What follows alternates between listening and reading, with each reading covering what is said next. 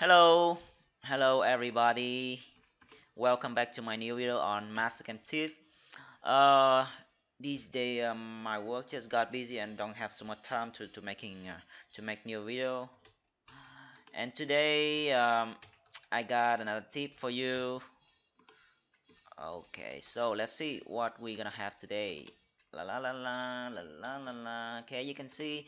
Um, the tip today is uh, how we can eliminate the unnecessary move from a waterline toolpath. Yeah, it's nearly the same with another previous uh, of my new video uh, in the same topic, but today I use another method. Okay. Uh, before we, uh, we start, I just want to uh, uh, show you something on on the park today. Okay. I have a park on the screen like this, and you can see um, this is just a, a simple 3D park and you can see when we look from the top the park has uh, some uh, 3D surface and uh, yeah when you uh, the home uh, go to the angle and drop angle to, to check the, the angle on the park I want you to see something okay? You can see we have some uh, negative angle negative surface. Yeah which uh, which is marked in red color. That's the undercut area. We cannot reach with the tool in this operation you know? Yeah. When we cut from the top yeah the tool cannot cut into this uh, undercut area. That we mark it red color. You can see. Uh, yeah. This is the this is the undercut area on the park okay? I make a, a rough tool path like this we clamp the park uh, the stock on the vice and after the um, rough operation we have the stock like this. Yeah. You can see this is the stock after the roughing operation. Yeah. And now we're gonna make the finished cut okay? Okay I will use a, a ball end mill for for finish okay? And I use the waterline tool path for the finish cutting okay let's see uh, what a waterline tool path look like? Yeah you can see. It's uh look like the same with the finish the the old finish contour tool path uh, in uh, the previous version of Mastercam yeah.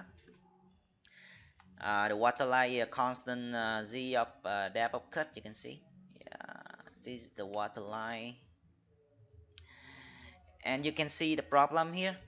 Yeah you can see the problem. Here we don't have any trouble. We don't have any issue okay? But look at this.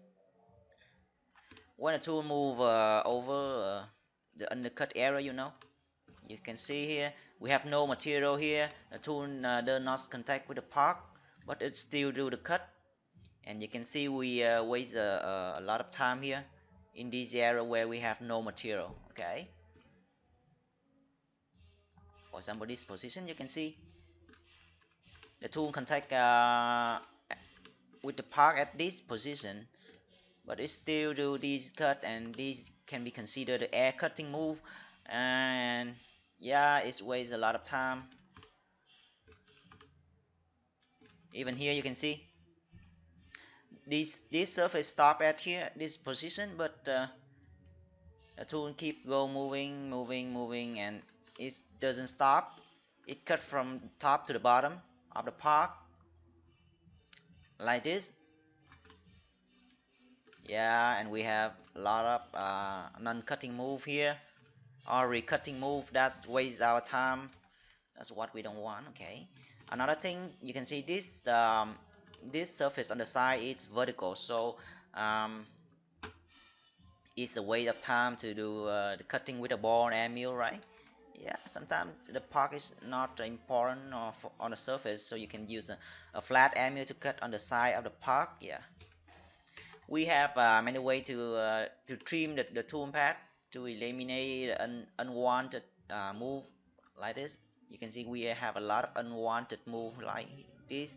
You can use the boundary to to limit the the tool path yeah or you can use the check surface to to uh, to remove the the move from the area we don't want to cut okay? Like in a previous of my video I use a check surface to uh, to trim the, the waterline tool path. Yeah but that's a waste of time uh, sorry uh, take a lot of time if uh, the park is complex and uh, uh, we have a lot of surface need to take care about. So we are very difficult to select uh, the check surface one by one it take very very long time okay? So today I'm gonna show you another way for for trimming the, the tool path okay? So we don't have uh, we don't have the unwanted move here like this in this area and this you can see we can eliminate it okay? So uh, what we gonna do with this? This is the waterline toolpath. And this has uh, not trimmed yet okay? Now I'm gonna go to the parameter. You can see this is the parameter. This is the Mastercam uh, 2018 and it has um, a little different in uh, the interface but no problem. You can see this is the surface. I don't use any uh, containment boundary. Yeah there's no need in the case so you can see I, I don't have uh, any uh, boundary chain to limit the tool path yeah. Uh, so this is the tip. Look at this uh, we will go to the steep and shallow okay? This is our, this is our tip today. You can see on the steep and shallow we have the something called angle. That's the angle uh, the the limit for the tool path in this case we machine the from the surface uh, we machine surface from 0 to 90 degree angle. This means we uh, we will machine the flat from flat surface like this horizontal to vertical wall like this with no limit okay? So you can see uh, it cut like this. But there's something uh, the waterline tool path uh, is it unable to uh, to recognize where we have material. So you can see even the tool not contact with the park uh, here because these uh, surface surfaces are undercut. So the tool is not contact here but it still do the cut because this is the water line. And if you don't block the water it will uh, spread everywhere. Wow that's bullshit. You can see here. The water keep falling. Okay even where it's not contact with the park like this it's, it keep falling and it's waste our time. Yeah uh, we don't want to waste water okay? We want to keep the water in the area we want it has to be okay? So let's check it out. you can see uh, when it uh, go from this surface to the undercut area Mastercam consider this is a vertical error so it's we do the cut. Yeah it consider this is a vertical wall so it do the cut you can see. This is the vertical. So if you want to trim this just do some uh, uh, minor change instead of you go from 0 to 90 degree just use maybe a very very close value okay? For example uh, I will input 89.70 uh, 89.99 okay degree let's see what we have okay one two three ping ding ding ding okay let's see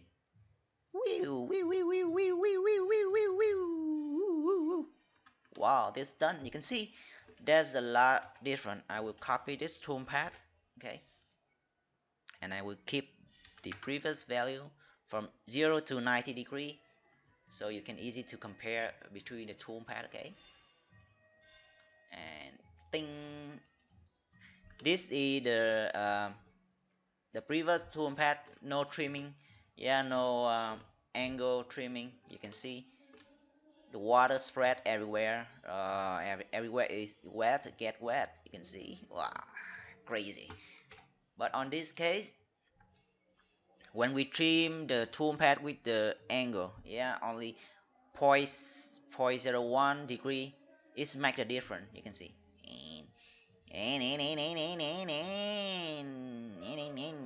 and you can see the tool will not uh, go into the undercut area here where no material yeah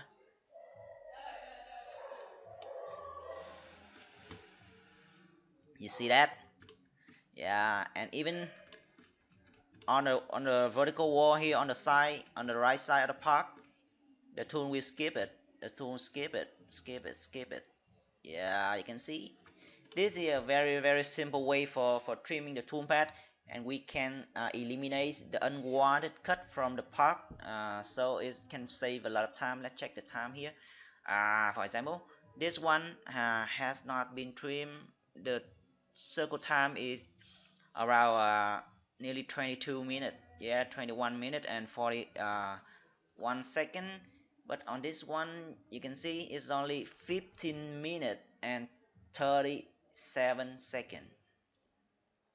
Uh, this is a big difference on big park you can see the difference so this is a way for eliminating the un unnecessary cut for uh, from a waterline toolpath very simple and very effective but in some case it's not a perfect solution because uh, with some park with vertical wall maybe some we have some vertical surface on the on the 3D on the 3D surface here we have some vertical error. So the tool will skip these error. That's what we don't want. Yeah. So this is not a perfect solution for trimming the toolpath but in some in, in many cases uh, it help you. Yeah it help a lot. So you with this method you don't have to create a check surface.